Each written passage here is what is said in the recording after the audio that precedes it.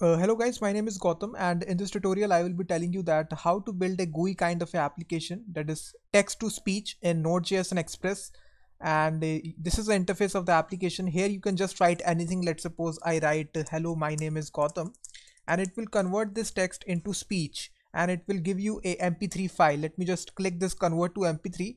If I click it you will see that a file will be downloaded here with the text which is hello my name is Gautam. Now you can see that output.mp3 is played right now.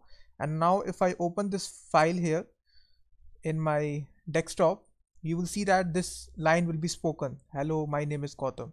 Hello, my name is Gautam. you can see that. And now if I show you in my active directory this file has been downloaded. You can see that this file has been generated output.mp3 and we are using a Google to speech library which is uh, this module we are using gtts.js so this is a node module. So basically this is a python gtts google text to speech library. It's a, just a uh, node.js module that we are using. So the command is very simple npm install gtts.js so just install this. And all the source code of this application is given in the video description. So this is a github repository. You can just download it and clone it into your own project now let's get started by building this application. So just uh, make an empty node.js project and install these packages. First of all we will install express. This will be our server here. And then we just need to install body parser. This will be useful in order to make request. And the next package will be ejs this is a template engine for uh, rendering out html and the fourth package will be this one that is gtts.js this will be the text to speech library so install these four libraries and execute npm start in order to start your server. And now I will be starting from scratch deleting all the code. Let me just delete all this code here and start from scratch. And let me also delete this views folder. We will create our ourselves now let me just uh, also delete this output.mp3 file.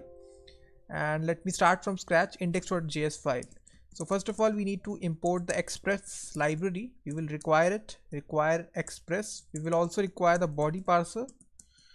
So require it. Body parser. And we will also require the gtts library which is require gwt.s and we need to require it. We need to bind a dot and we need to require gtts that's it. And now we just need to make a simple express app guys we need to start this app on port 5000 and a callback function will be executed.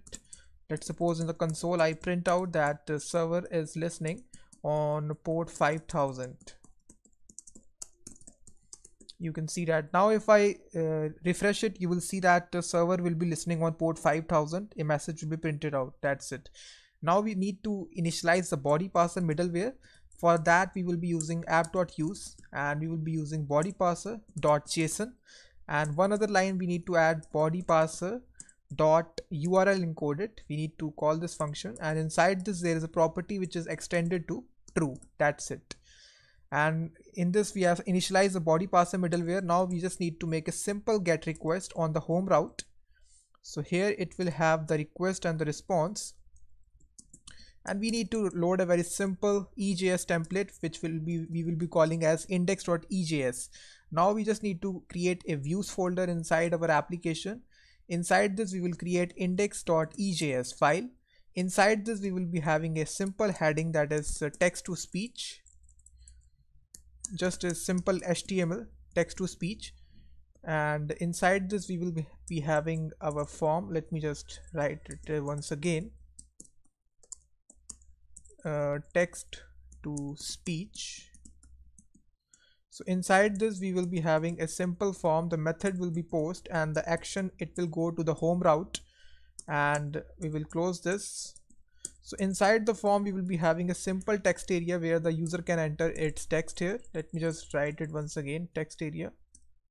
Name let, let me just give it as text. I don't need the id rest of the things will remain constant and after that we will be having a simple input field of type submit. And the value we will give as convert to mp3 that's it. Close this. And now if I refresh it guys we are rendering out this template. Now if i go to localhost 5000 so so it, it will tell you that no default engine was specified. We need to tell the express app in order to use this. So app.set inside this we will pass in single quotes view engine and we need to initialize it to ejs that's it. So now it will hopefully render out this template. If i refresh it you will see that text to speech. Here we can just write anything here. And now we just need to process this post request which is coming from the uh, form app.post on the home route. Again this will take request response. And here we just need to first of all get our uh, text which the user enters in the text area. So we can just get it by request.body dot followed by the name attribute that we have given inside this. So we have given this as text. We will just write text here. So this will get the text here. And now we just need to initialize our speech. That is mp3 for that we will just need to initialize new gtts and here we just need to pass the text which was entered. And here we just need to uh, call the save method. Inside this we can just call our mp3 file. Let's suppose i call at output.mp3 this returns a promise that we need to handle. So if it is successful then we can just download it as attachment. So we can just pass response.download inside this we can just pause output.mp3 if any kind of error take place we can just handle this inside the catch block and we can just console log the error. That's it.